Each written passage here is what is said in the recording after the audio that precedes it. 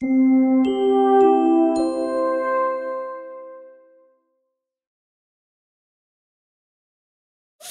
times four equals four times four equals sixteen. Four times four equals sixteen.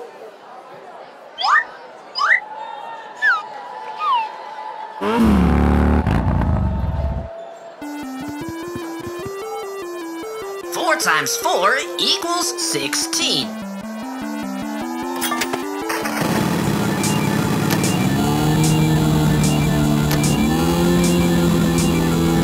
Four times four equals sixteen.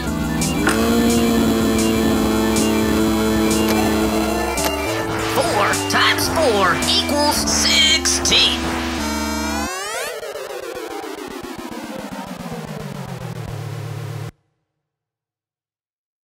Four times four equals sixteen.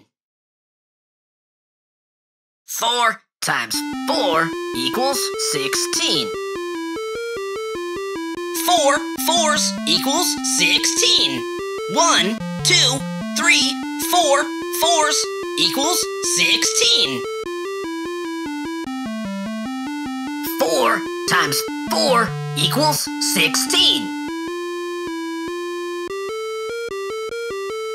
sixteen. Four, eight, twelve, sixteen.